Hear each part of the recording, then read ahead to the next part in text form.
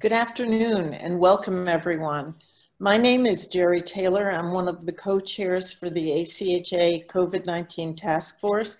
I'm also the former Associate Dean for Health Counseling and Health Promotion at Bentley University in Waltham, Mass.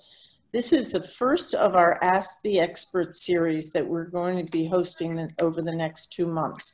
Our goal is to provide brief presentations with then time for our um, participants to ask questions. Um, again, the presentations will be brief. If we don't get to your question, what, what our hope is, is to have those answered and to send you the recording of the session as well as the copy of the slides along with some of those questions that might not have been answered, although we'll try to get to all of them. Um, just a reminder that we have the latest updates on the ACHA COVID-19 resource page. That's a link on the ACHA homepage. And also be sure to check your weekly ACHA COVID-19 update emails. There's a lot of good information on them.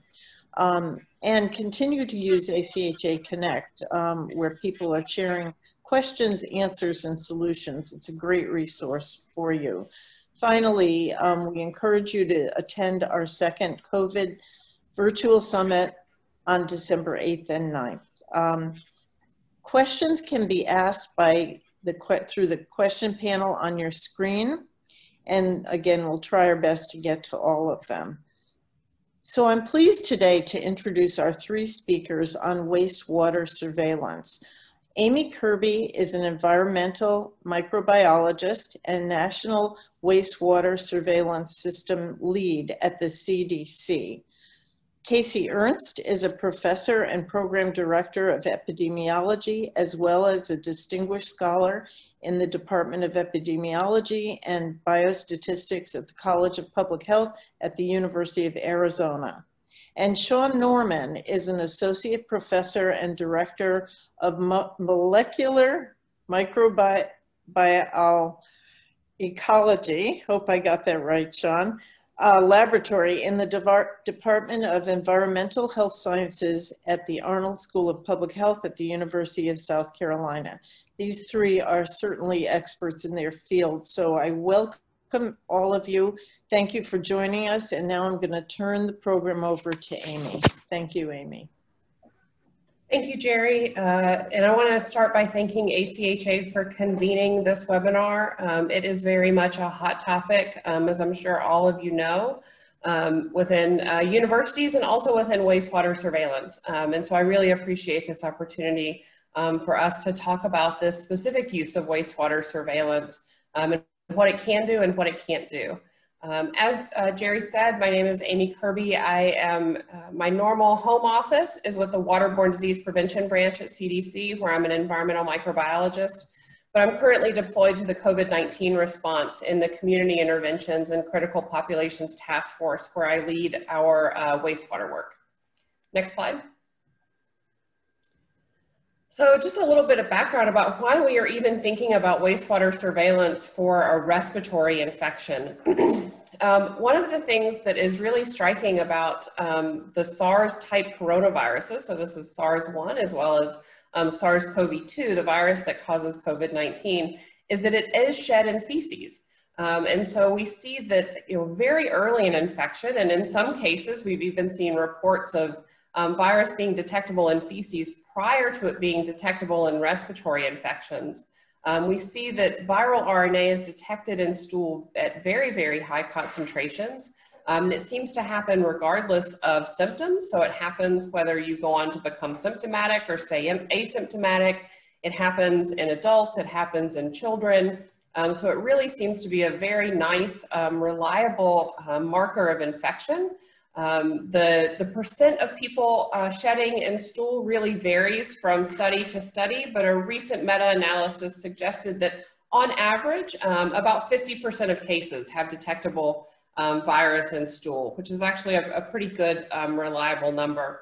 And while we know a lot of those cases may not go to the doctor, they may not get tested, the one thing they will do is they will go to the bathroom. Um, and in most um, US households and facilities, that um, waste is gonna be captured by a wastewater system um, and delivered to a treatment plant. Um, and so the incoming sewage into those wastewater treatment plants can be used as a pooled community stool sample. And so we can take a sample coming into that wastewater treatment plant and essentially um, test it in place of testing the people that contributed to that. So it's a very efficient way um, to test a large population and understand what the infection prevalence may be at that population level. Um, one of the reasons that we really like it, again, it um, captures those subclinical infections. So even people that aren't symptomatic uh, may be shedding uh, virus and stool, so we can capture those. Uh, the reason I really like it is that it's independent of healthcare seeking behaviors. So again, doesn't matter if you go to the doctor, it doesn't matter if you're insured, it doesn't matter if you get tested, It doesn't matter if you're in a system where your healthcare capacity is co completely overwhelmed. Um, wastewater surveillance can provide um, reliable data in all of those situations, which really gives it great power. Um, and we also know that it's fast. Um, so these systems um, deliver uh, waste to the wastewater treatment plants within a matter of hours. They're very efficient. Um, and so if we can collect that sample and get it tested quickly and get that data back to the end user within you know, a few days of the, the results being available, we can have actionable data um, within a week versus the two week lag um, that we see for a lot of our clinical indicators. So this can be a very early indicator of what's going on in the community, which makes it particularly valuable. Next slide. Okay, so this is just to give you an idea of what this data uh, might look like. Um, so what we're showing here is data from a single sewer shed. So again, this is at the community level, so not necessarily on a university campus. But if we're taking samples from a uh, wastewater system, this is what you could expect to see. Um, so the, the raw wastewater data is shown here in black dots. Um, because there's a lot of variability, we um, do a seven day rolling average to smooth that out. And that's what that black line is. Um, because we're only sampling two or three times a week, we can't smooth it totally out, so it's still kind of jumpy. Um, but you can definitely see some trends, right? So in, in early um, April, uh, or late April and early May, we really weren't detecting much. There was a little um, increase around Memorial Day, which we all know is the Memorial Day spike, and then it went back down. Um, and then unfortunately in, in late June and early July, we start seeing those concentrations go back up. Um, and that does correlate with what we see in cases. So you can see um, the gray bars in the background here are new cases reported um, by date of symptom onset. And so you can see there's a nice correlation there with where we're seeing um, wastewater increases, we see case increases as well. Um, so we have done uh, at CDC an analysis of this and shown that in fact, wastewater trends do correlate with new cases. Um, so it does seem to be a measure of incident cases occurring, um, even though it's technically a prevalence measure. Um, and that wastewater data tends to lead case data by on average four to six days. Um, so we have statistical support that this is in fact um, a leading uh, indicator of community infection prevalence. One of the ways that we report this data um, is by assigning trend classifications um, to the wastewater data. And you can see that for this graph at the bottom. Um, so the sewage trends, if you're red or yellow, it means that the RNA concentrations are going up um, and that we expect that the infection prevalence in your community is increasing. Uh, if they're going down, then it's green or dark green, and if they're plateaued, then it's red. And so by just looking at that bar, you can see quite quickly that, again, April and early May, you were doing good. Um, and then in late May, it started going up and it's really hasn't come down since. Um, so that's a very quick way um, to see uh, how any individual uh, sewer shed is behaving. Next slide. So with that evaluation in mind, we are moving forward with the National Wastewater Surveillance System. Um, NWSS, we pronounce that news because any good government program needs an acronym. Um, this is a good overview of how that system is set up. Um, so again, the new system is really targeting that community level surveillance. So our communities are producing wastewater that's going to the wastewater treatment plants. The utilities are collecting those wastewater uh, samples at their influent um, to the plant. That's then uh, sent to one of our news uh, laboratories, and that's a real patchwork of academic labs, commercial labs, um, and some public health and environmental health labs, um, where they will uh, measure the amount of SARS-CoV-2 RNA um, in those samples. That data is then submitted to the state or local health department, um, and they will input that data into our um, news DCIPHER portal uh, that's housed at CDC. And what that portal does is it acts as one, a data repository for national wastewater surveillance data, but it also houses an analytic engine that does basic data cleaning and quality checks. Um, it also normalizes the data for human fecal input. Um, so the easiest way to imagine that is, you know, we have some systems where stormwater flows into uh, sanitary sewer systems. So they're combined systems. And so you can imagine in those systems, if it's really rainy and there's a lot of storm water flowing into the system, your signal would go down, but it doesn't really mean that you have fewer cases. It's just because it's diluted. Um, so we wanna have some measure of what the human fecal input is so that we can account for that. Um, and the DCIPHER engine does that normalization on the back end um, using the data that's submitted to it. Um, and then we do those trend classifications and we provide all of that data back to the health department as the end user of this data so that they can incorporate it into their decision making um, for the response.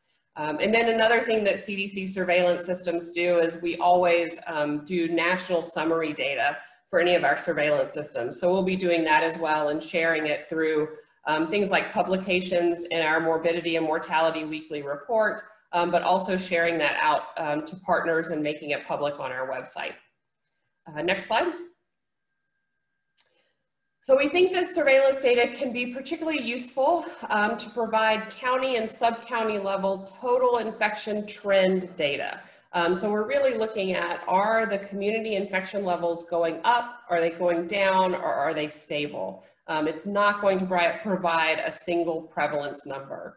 Um, we do think it can be very useful as a leading indicator of infection increases, um, especially after changes in community uh, mitigation strategies. So, uh, you know, asking whether, you know, for instance, reopening bars or hair salons or any of the things that are coming back online, what is the impact of those things um, on community infection levels? Um, we, it can also be used to inform reclosure decisions. If you're seeing consistent high um, and increasing levels in wastewater, um, you might want to consider implementing additional community mitigation strategies. Um, and although this isn't a, a priority right now, um, this approach can also be used to track virus evolution and global origin if we add sequencing um, into it. Um, and so that is a, a long-term goal for the system, not something that we're working on right now. Um, the one thing that I really want to emphasize is right now, wastewater data cannot be used to provide a point estimate of prevalence. So it cannot tell us what percentage of people in the community are infected. It can't tell us how many people are infected. Um, and really that's because the, the data on fecal shedding in, in uh, sick people that is necessary to model um, those infection prevalence numbers that data is just not robust enough right now to give us a precise estimate. So any model that produces those prevalence estimates has such large uncertainty around it that it's really not um, a useful number. Um, it's just too uncertain. Next slide. So as promising as wastewater surveillance is, there are some limitations that have to be acknowledged up front. Um, the first is that not all um, facilities and residences are on wastewater systems. Um, so we call these decentralized wastewater treatment facilities. Um, the most common in the US is septic systems. So if your house is on a septic system, you're not contributing to the wastewater system. We will not pick your house up um, with this wastewater surveillance approach. And about 25% of households in the US are on uh, septic. In addition, we have a lot of facilities now moving to on-site wastewater treatment. So they're collecting their own wastewater and treating it locally as opposed to sending it into the municipal system. So some whole facilities um, may not be on the, the centralized wastewater system. So it's important to know not only who is contributing to your sample, but also who isn't. Who are you missing with this approach? Um, we also, uh, one of the things that is just a bedrock of any environmental sampling is that we do not um, add any interpretive weight to a negative sample. So if we don't detect um, SARS-CoV-2 in a wastewater sample, we cannot say that that community is free of COVID. Um, because our limit of detection is something greater than zero, it always is. Um, we could just have not sampled enough or at the exact right time or in the exact right place. Um, and so we just don't interpret those negatives um, to be a, a way of, of, clearing a community. Um, and finally, for any sewage uh, systems, you want to know if there's any kind of pre-treatment that's happening. Um, a lot of our municipal wastewater systems will treat their sewage coming into the plant either for odor control or worker safety. Um, and those pre-treatments can uh, make it uh, harder to accurately detect um, the virus in that wastewater. And so we'd want to know about any pre-treatment that might be happening um, there as well. Next slide. So all of that was really focused on the community level, which is where our news system is really focused. Um, but there's also a lot of interest in applying this approach um, at the building or facility level. So at CDC, we call those targeted use cases, so targeted surveillance. Um, primarily the interest is for long-term care facilities and nursing homes, universities, as we're talking about here today, um, and also correctional facilities. Um, and one of the things that I have been a little surprised to learn through all of this is those three facilities have a lot in common. Um, they are all residential, they have large residential populations, and in each case, it can actually be really challenging to do accurate prevalence screens. So, you know, ideally testing all of your residents, you know, once a week, um, there are barriers to doing that in all of these groups. Um, and so that solution is challenging to implement um, which makes wastewater surveillance really, um, really of interest and particularly um, promising. And why are we interested in that? Um, again, it could be an early warning for new cases. So maybe we'll see it in wastewater before a person will even be symptomatic. Um, again, because they start shedding very early and even if they're asymptomatic. Um, it may be a more efficient approach to surveillance. So taking those um, wastewater system, wastewater samples, you know, even if you're doing daily samples from a facility, that's going to be a lot fewer samples than if you're testing every resident in that facility. Um, and because of that, um, it may be cheaper um, than prevalence testing uh, for the full facility. And you can see, I know everyone on this call has seen these. Um, this is just the early um, headlines about some of the successful implementations of wastewater surveillance at, at universities across the country. There have been many, many more, um, so I won't spend time on those. Next slide.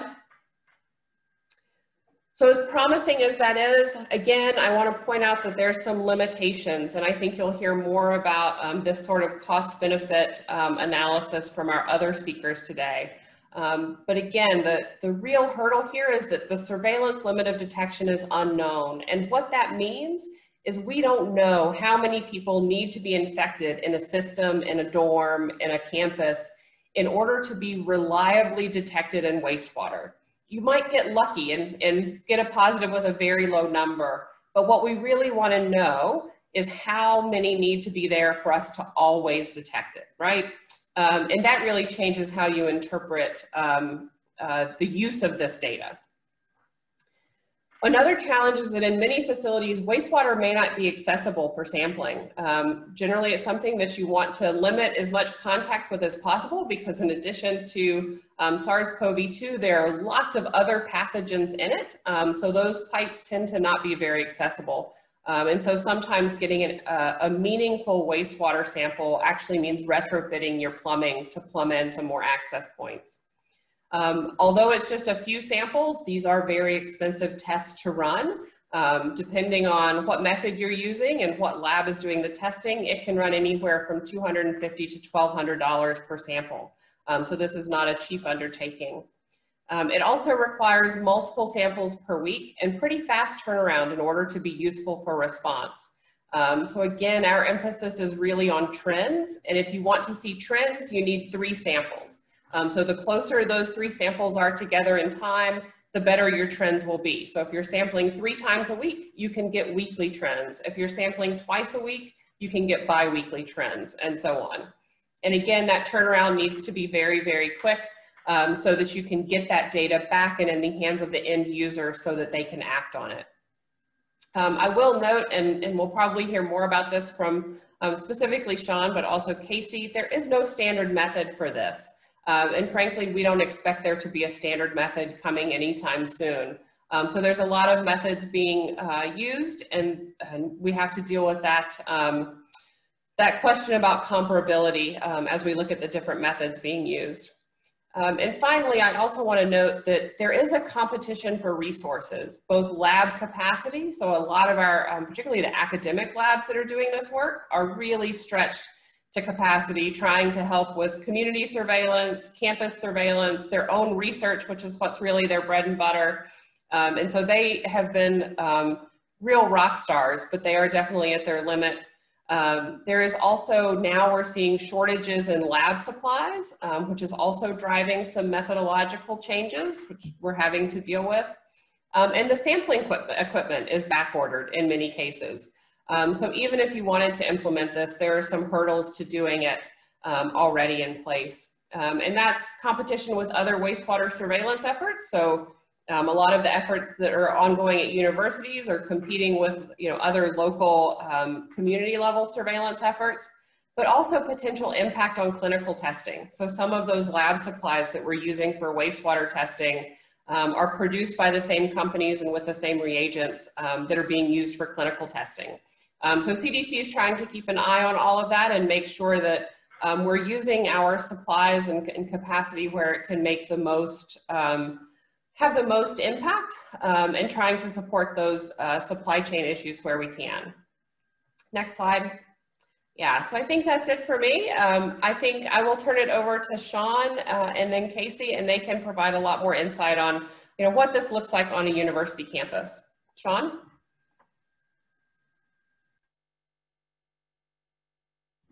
Okay, thanks, Amy. That was a, a great overview of sewage, sewage surveillance, so I can skip a lot of what I was going to say there. So um, again, my name is Sean Norman. I'm an associate professor at the University of South Carolina um, in the Department of Environmental Health Sciences.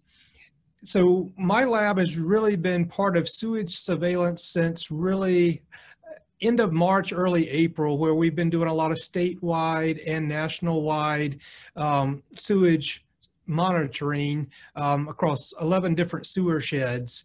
So I, I kind of bring to this a little bit of the larger scale municipality screening approach, but then scaled down to the university campus level. We began optimizing our campus um, sewage surveillance network here uh, over summer with the knowledge that we were going to be going fully online in fall. So this became one of the priority points that the, the university administrators leaned toward.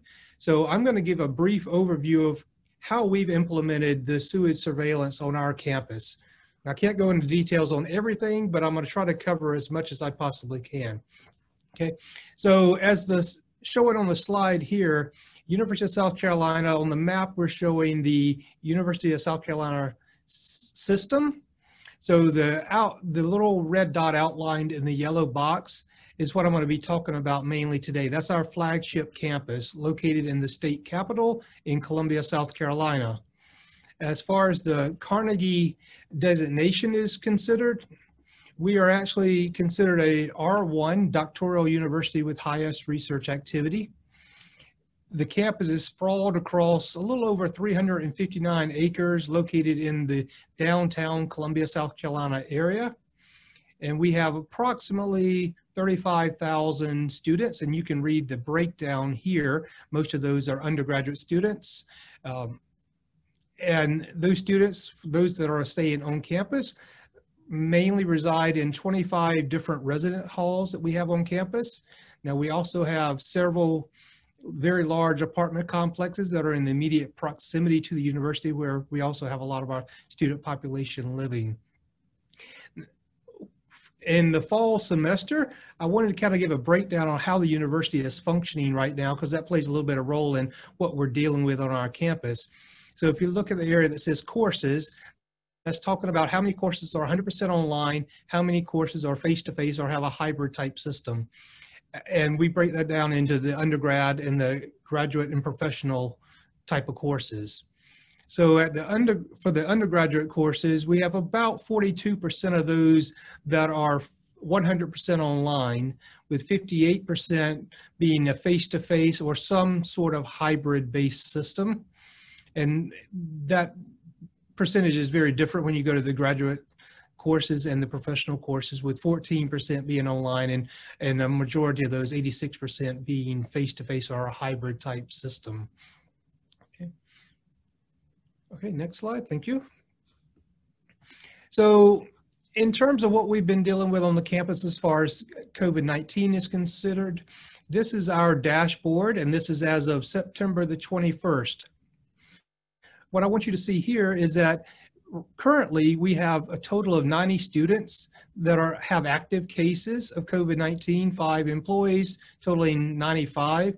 Now this is on the low end now. We did go through a spike relatively recently and you can see we've had total recovered since August 1st, 2,209 students, 34 employees. But if you look down at that first blue box on the left, that's what I want you to see is that reading from right to left in this case, um, the percent positive of the students here has gone from 10.6 down to 3.2. So while we've had a high percentage, we've also reduced that percentage over time. So we're seeing a reduction in the number of positive students on our on our campus. We have lots of different type of testing going on through our student student health services. We also have a saliva-based rapid response team that is able to provide a fast turnaround sampling and process a thousand samples a day. So we have both of those available for the students. Some of those are, like I said, uh, based on saliva testing. Others are based on nasopharyngeal swabs. But if you look on the right-hand side, that the blue box on the right hand side outlining environmental monitoring, that's really what we're talking about today. And that's our terminology for sewage surveillance. We call it environmental monitoring. And that's what I'm going to talk about in the next few slides. Okay, next slide, please. So at, at the campus level, so there are some logistical questions that you have to ask when you're scaling down from the municipal level, like Amy was talking about earlier, um, down to the campus level. So we're looking at community services. One little part on that figure on the left shows all the different diagrams feeding into a municipal wastewater treatment plant. And we're, we're kind of scaling down to one little aspect, that's community services. In this case, we're talking about universities. So there's some logistical questions when we scaled our approach down from the wastewater treatment plants down to our campus. And some of these questions I'll, I'll kind of talk through with you because it might help you in deciding, you know, what, how you want to approach this, this question as well. So the first question we looked at was the question of safety. Okay, I think we still are inconclusive as to the infectivity of the virus in sewage. I think those studies are possibly ongoing. There have been some conflicting studies suggesting that the virus released in fecal material may be inactive, but I don't think those are conclusive studies. There have been some other studies who've, who've indicated that the virus could be um, infective. So I think we have to look at the safety procedures. As Amy also mentioned, you're working with sewage, which the SARS-CoV-2 is the one of many pathogens that's contained in, in sewage. So when you're looking at the source, in this case, you're, you're looking at minutes away from the source of the fecal material versus a municipal wastewater treatment plant where you're looking at hours and maybe up to a day contact time before you actually receive a sample from that facility. Here you're looking at the matter of minutes. So considering the sample as possibly infective, we, we here on our campus take the precautionary principle and just assume that all samples we're dealing with could be infective and from some pathogen or another. So we, we wear our N95 mask, we wear goggles, we wear gloves, and we, we go through a lot of bleach in the lab as well as out, out in the field. So you have to really consider the type of personal protective equipment that you're using for this study. Okay.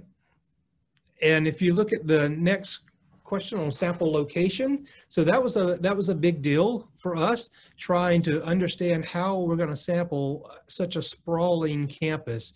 You know, I mentioned over 359 acres. We have lots of buildings. We have res 25 resident halls, not to mention classrooms and office spaces.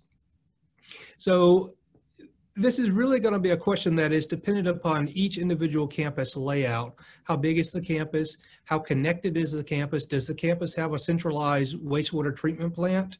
We don't. We have many, many connections on our campus leading to the city, um, city main sewage line. So trying to understand how the sewage pipes run through the campus was one of our first challenges digging up all the old maps for the sewer system on this campus was a bit of a challenge. But this is where working in partnership with our facilities was incredibly important. Um, so we actually sat down with our facilities um, experts here and looked at the sewer maps and tried to decide how we could best sample um, a majority of the campus with the limitations of, you know, what you would normally have in a lab for sample processing. So we knew up front we were not going to be able to sample every single building on our campus. That's just not feasible, uh, at least here. And so what we decided to do was approach our university kind of in a grid type pattern where we kind of overlay campus with a grid and, and said, what can we do to capture quadrants within this grid pattern that would allow us to cover the most part of campus. And what we ended up doing is looking, uh, if you can go, go back a slide. Yeah, I'm not ready for this slide yet. Go back one slide. Okay, so I'll come back to the, that slide in a, in a moment. But so what we ended up doing is trying to decide, okay, where are the most number of sewage connections, uh, junction boxes, if you will, where we can capture multiple buildings. And that's how we kind of outlined our sampling plan here is by looking at the junctions.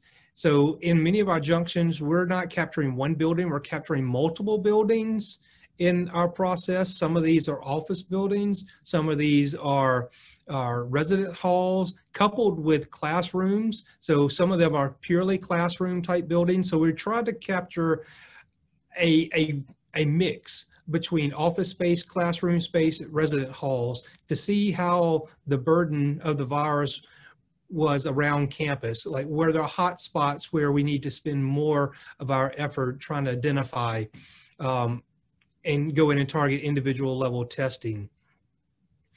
And I'll come back to the other side. We ended up uh, narrowing down to 20 different sites, and I'll show that on the next slide. So the next thing you have to think about is sampling, sampling frequency. So we were trying to decide how we would best sample on campus. Now, as I mentioned earlier, I am part of a, a, larger monitoring network that we have going on. So we had some logistical considerations we had to have in the lab as to when we would be sampling on campus so that we could process the samples. You know, the, the sample processing that occurs uh, is the same regardless of where you get samples from. So we were having intra-lab competition for a lot of our equipment to be able to process the samples. So we had to try to choose um, the days when my, my other projects were lower in, in processing needs. So we ended up focusing on twice a week on a Tuesday and a Friday. So that allowed us to get kind of two data points, as Amy mentioned, to try to at least understand a weekly trend uh, occurring. Now, I say a Tuesday and a Friday. We do have some auto samplers. So I'm kind of jumping around here a bit, and I'm sorry. It calls for some jumping around. So we do put out some auto samplers, and those auto samplers are deployed on a Monday and a Thursday. So they collect over 24 hours, over a 24-hour period. And then we pick those up on a Tuesday and a Friday. Okay. And that leads me into the next part about collection method. So how do you collect the samples? And this is a, a, kind of a big question because the equipment you need to collect composite samples are, are oftentimes back ordered these days because of a rush of ordering composite samplers. We also call them auto samplers. Matter of fact, we have a, an order that we're waiting for here at the university that hopefully will arrive in a week or two. But so we have done a combined until our other auto samplers get to this campus. We've combined with using some auto samplers that we already had on campus with also taking grab samples.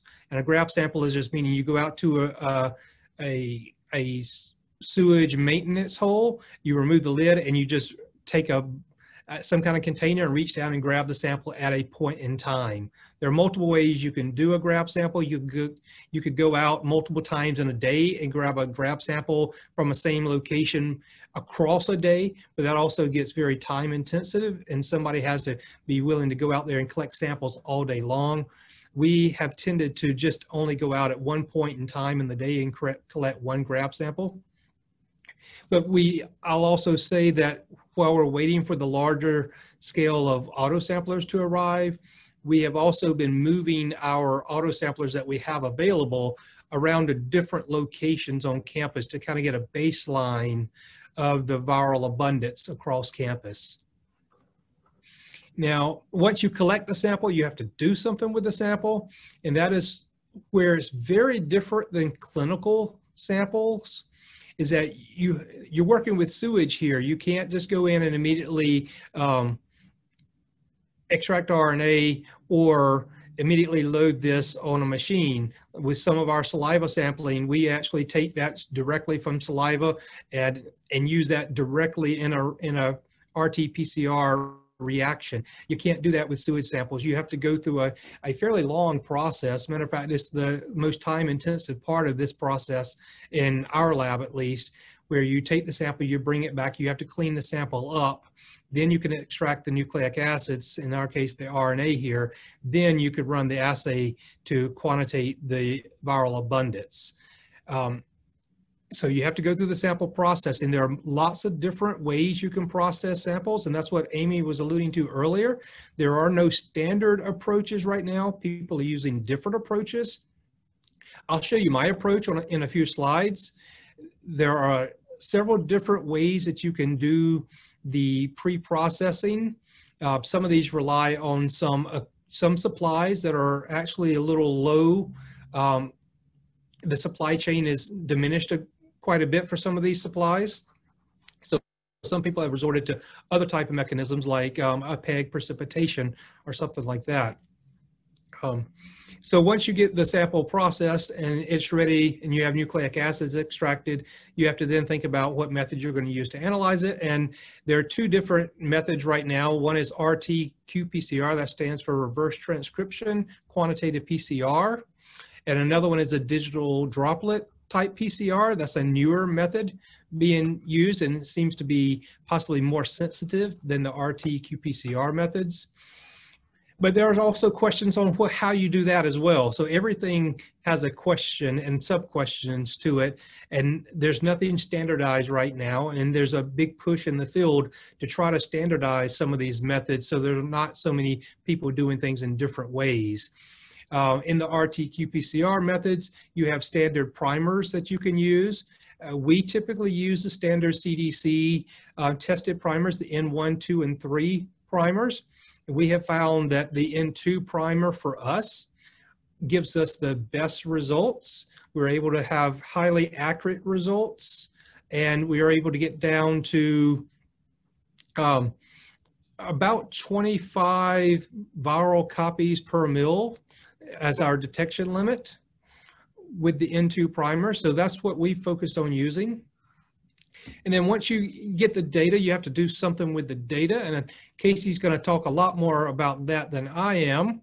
I'm the microbiologist. I then feed our data up to epidemiologists, but then trying to integrate the data and how do you use the data. And I'll come back to that at the end. So I kind of wanted to give you an overview before I go into some of the more details on how we do things, but just all the types of questions you have to try to ask yourself.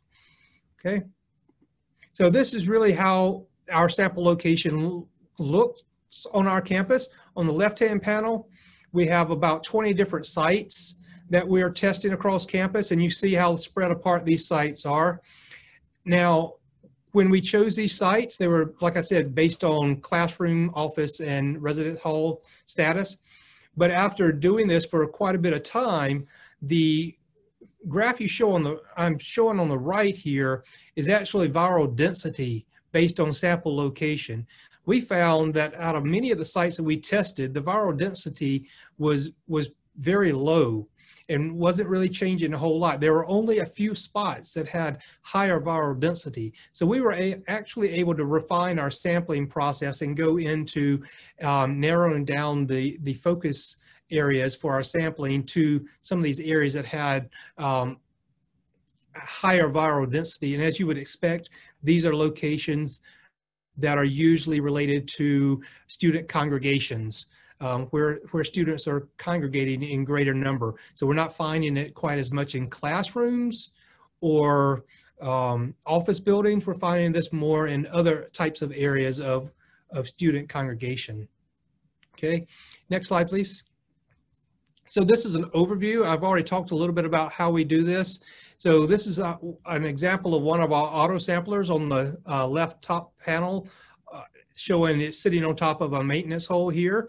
This pulls a, a 20 mil sample every 15 minutes throughout a 24 hour time period. Then in areas where we don't have auto samplers deployed, we have auto undergraduates, I like to call them.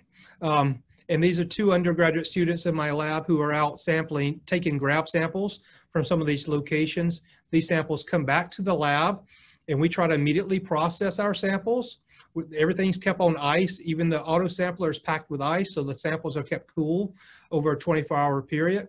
We bring these samples back into the lab. We blend the samples, then we take them through a centrifugation process, and then ultimately, um, shown on the right top right hand side of this figure is the way that we concentrate our samples. So we have to be able to concentrate a large amount of sewage down into small amounts so that we can um, detect the virus. So we use ultrafiltration, then we extract RNA, and then we um, quantify using RT-PCR. Next slide.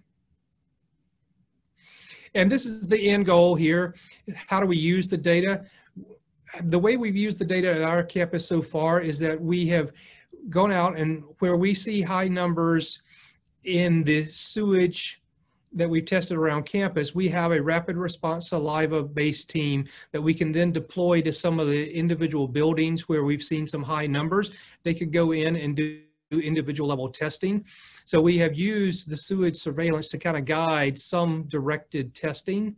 But one of the most important things I'm told by my administration here is that the sewage surveillance also provides an extra level of confidence in the trends that we're seeing on campus. So if the individual level testing numbers are showing increasing or decreasing, our environmental monitoring has been consistent with that, which is independent, as Amy mentioned earlier, is independent of the level of in individual level testing. So it not only allows us to direct some testing, it also provides extra confidence in policies, procedures, or you know mitigation strategies that the administration might be um, anticipating. So we use it in two different ways. And I know I'm running a little late, so I'm going to stop there and let Kacey talk about Arizona. Hi, everybody. So um, I am not the wastewater uh, sort of guru. I am an epidemiologist that gets data on the wastewater surveillance that's being conducted at the University of Arizona and then try to determine what kind of um, information we, we um, will glean from that data and then how to act upon those results that we get. So I've got to put an early shout out to um, Dr. Ian Pepper and Dr. Chuck Gerba as they are the, the leaders in the lab and are the ones that are, are doing all of the, this really heavy labor. Um, so the University of Arizona is a Research One institution. It's a Hispanic serving institution located in Tucson, Arizona of about a half a million people. We have approximately 45,000 students, um, most of which are undergrads, but have about 10,000 graduate students. And let's see. Um, the current COVID metrics, so this is just showing sort of where we are. So early on in our, early on in our um, sort of first few weeks on campus, um, we started to see a real increase in the number of cases that we were having. Uh, and we are doing testing through multiple strategies. One is we have test all, test smart, which means that we have individuals who are walking up um, for any reason. If they want to get tested, they can get tested. We also have mitigation testing. And so the reason that I'm talking about the mitigation testing here is because this is in part triggered by wastewater results. And then the test smart is having individual random samples um, of on and, and off campus um, employees, which is which is sort of starting to ramp up now that we have more, more capacity for those antigen tests. But you can see that we really had a, an increase there if you look at that sort of bottom um, left figure with the seven day average positive test results, we really did have a, a, a significant increase several weeks after school um, started. So next slide, please. So currently with the wastewater testing, what I receive back in a file every single day, so the turnaround time is actually very rapid at U of A. Um, they go out and grab the samples in the morning and then they have the results back late at night um, for us to review before the before the next day. So it's it's within a you know eight to ten hour period. And what we get for each of the places that they're sampling are a non-detect, a level two, or a level three of concern. And all of the testing is really focused mostly at, at dorms and at residences because we feel like that's the best way to identify um, sort of who, who these people might be in order to trigger mitigation testing. And so there are um, 11 dorms out of 21 dorms that are currently under surveillance uh, with wastewater. And some of those wastewater sampling sites actually serve multiple dorms. So there's only one location. So you kind of have to, you know, figure out that you're going to treat those two dorms or so as a, as a cluster. And then generally they're sampled about two times per week. Um, if you have a level of concern three, they will go in and they'll test more frequently in order to try and see, is there a pattern here? Is this remaining high? Um, and then they are going to plan to expanding their sampling sites to most dorms. Um, there are several that are inaccessible. There's a, you know, the only access point is in the middle of a busy street and things like that. So um, not able to, to really access that very well and then expanding to the Greek system, which is actually off-campus housing for, for University of Arizona, and then potentially to um, off-campus nearby um, apartment housing as well. Next slide.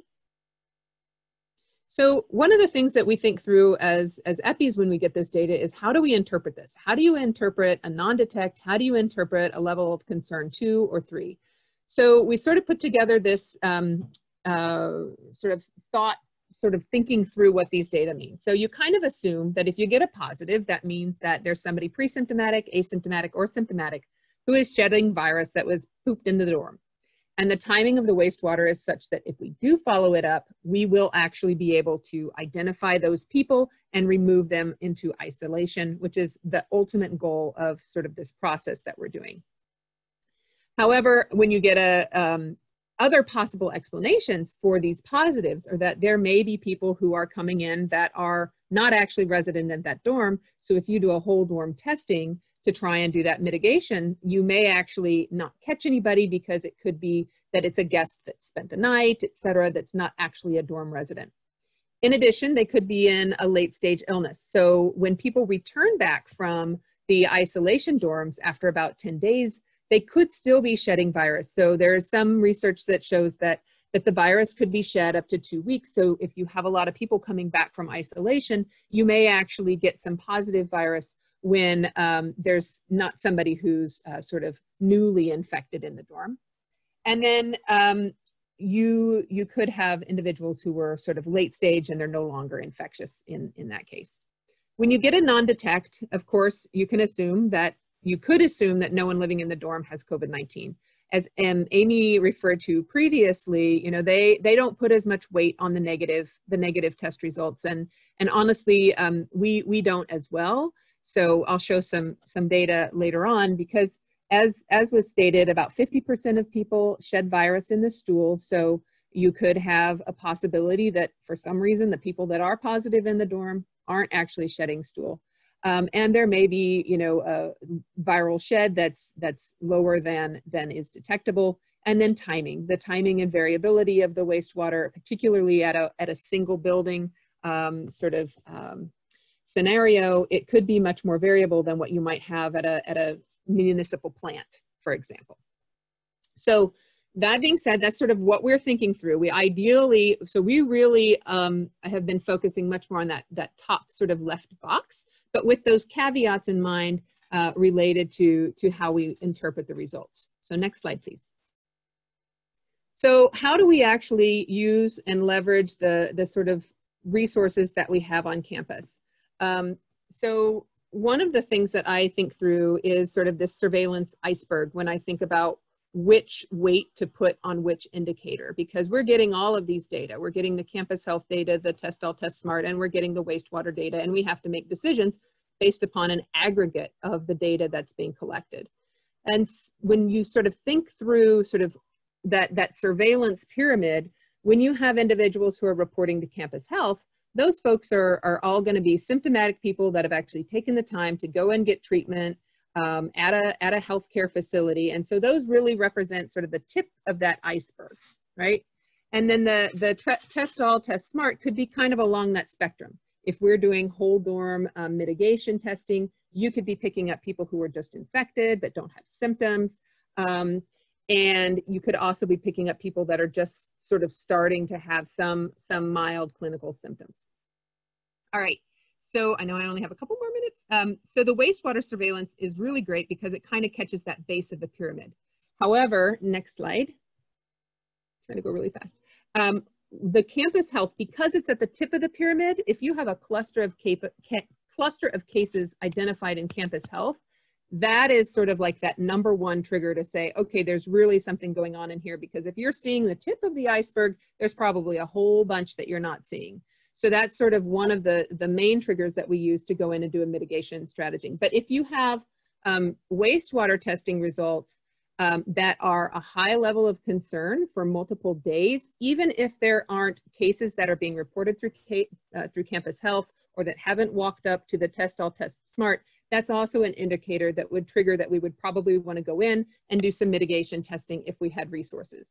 Now, early on, we didn't have a lot of resources, and so we were really having to gear a, a lot more heavily to sort of the campus health um, cases, giving us um, much more weight. But now that we have more resources, our cases have stabilized, um, you know, it'll, that, that sort of dynamic will, will probably change a bit.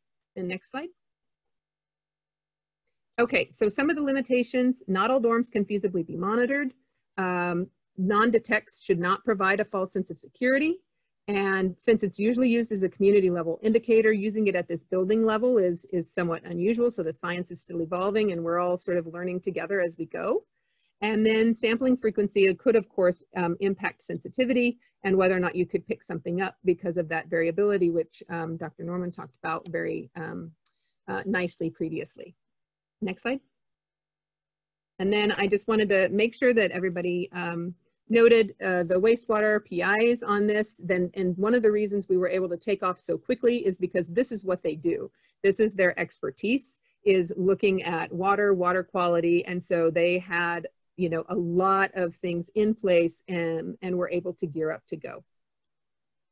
Okay, so sorry, that was really, really fast. I hope, I hope that that um, was useful. Thank you so much, our speakers, Amy, Shauna, and Kacey. You've done a fabulous job. We've covered so much. And just so that the people on the line can know, you received all the questions ahead of time, so you answered many of them, if not most of them, uh, during your presentation. So that's great. I'm going to ask a few. We have about four minutes or five minutes left. Um, and I I do want to ask you a follow-up question at the end. Um, Kacey, how did you determine levels two and three and um, the cutoffs? That's an excellent question, and that is actually not me. That is um, so what I get. It's it's based upon the load, and um, that is a cutoff that was given to us by um, Ian and, and Chuck. They actually determined that. So um, they would be the ones that you would want to talk okay, to. Okay, thanks. Another question for you, Kacey. Um, they're asking, it seems like the wastewater sampling is more sensitive than the nasal swabs. And so they're wondering if the if delaying NP sampling to five days after the wastewater hit to increase the chance that they'll find the infected cases. What, do you have any thoughts about that? Yeah, you know, I've thought about that as well. And, you know, I think that what we find is that usually the wastewater is also concurrent with some other things that are signaling that that dorm is, is already starting to, to pick up. So it's also hard to tease out people returning from isolation. So we've got a lot of people returning back from isolation. So really be to be able to be that specific with the recommendations, I would love to be able to do that and tease that out and to say, okay, we had a high and then wait five days and, and then test.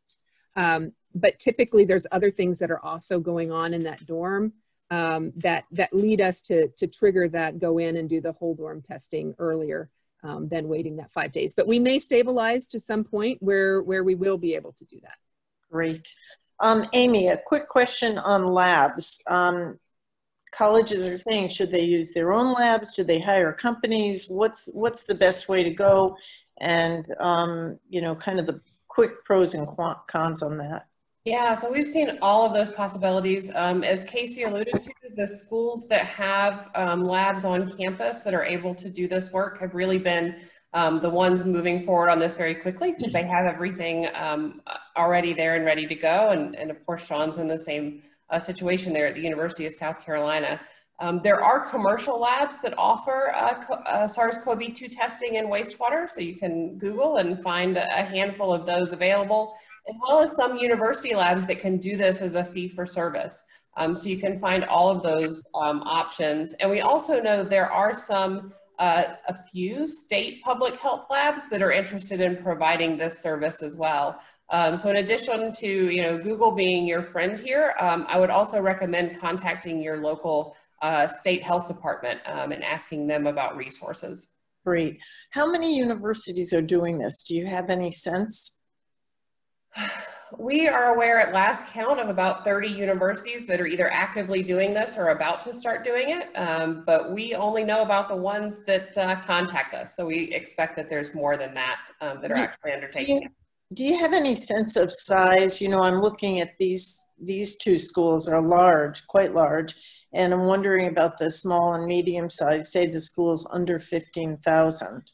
Yeah, there are definitely some small schools that are undertaking this as well. Okay. Um, again, some of them happen to have this lab capacity on campus and they're able to do it. Um, others are using commercial uh, laboratories to provide that testing or partnering with um, larger, you know, sort of R1 universities that can uh, offer this testing. Thanks. One last question. Um, what do you see happening in the future very quickly, um, Kacey, just from a college standpoint for say the smaller schools as well yeah for the smaller schools i mean i think i think it's up to the individual resources what they have and and how they might implement this i think it's a, a good sort of addition to uh, sort of a suite of indicators that people can be monitoring. Um, and you know i think yeah i think we we will certainly continue to use it in our in our planning.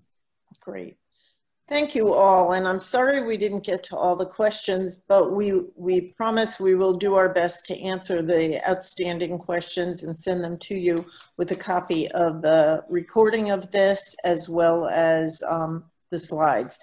Thanks so much to our speakers. You were fabulous, um, really learned so much today, and thank you to all our participants as well. Have a good day. Thank you.